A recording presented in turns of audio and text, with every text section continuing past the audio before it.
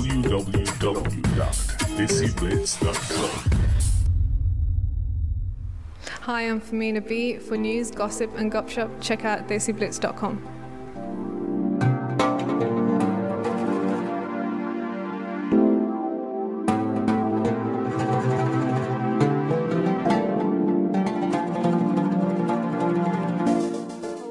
Things started with patterns. I was very young. I was into henna.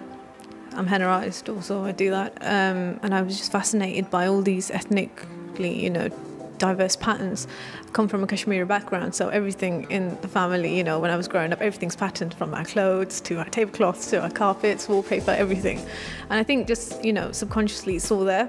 And I just used to sit there and draw and draw, and all my uh, patterns used to start with the center point, and I didn't really understand why that was. And then over the course of my degree on my BA, um, I think that brought me closer to my religion, and made me realize that it was all to do with the idea of. Um, you know one god and everything stemming from that. And I and I still draw like until now I'm still working on a series of uh, mandalas circular patterns and they just kind of go on forever and they get complex and complex. And it's just the idea of everything coming back to one thing and we're all we're all connected in one way. So um, that's how it all started. But yeah they're all hand drawn I hate using digital media to like you know Photoshop and stuff but which I've had to use. I'll be showcasing six um, prints. They're a series of prints and it's called because you can it was all about the idea and the concept of um, women in society. And it was to do with um, Muslim women, being a young Muslim, British um, young Muslim woman uh, in the society. I just found that there was a lot of negative media reviews on us, and um, the whole idea of that we can't do certain things, uh, you know, not being able, you know, like education, the whole thing that happened with Malala and stuff.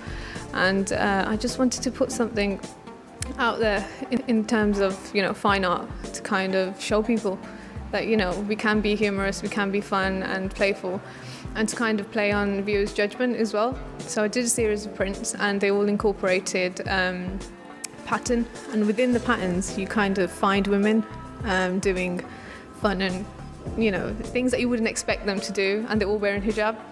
I guess when the viewer looks at my work, they'll find that they have to really be intimate with the work you have to stop there and look at it um, for you to kind of see what's happening. It's not one glance thing. It's not. It's about meaning within it, I guess. And you've got to really stand there and look at it, and then things are revealed to you within the patterns. So there's different levels of engagement with the audience.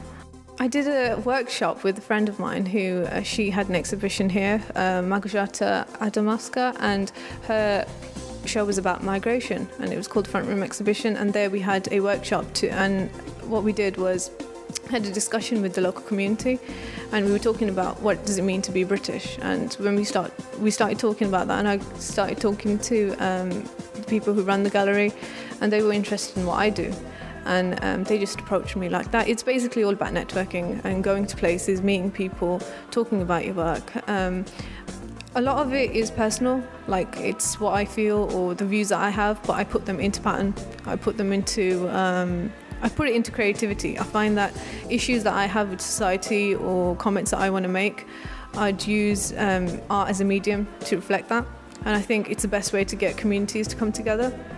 And right now, my concept has moved on from what I was doing before about women, and it's come to the idea of um, using art as a way to create dialogue between communities and that's through workshops and you know getting people to kind of talk about things if you present it to them in a visual form and um, I think that's I think creativity is the best way because people connect to each other through that.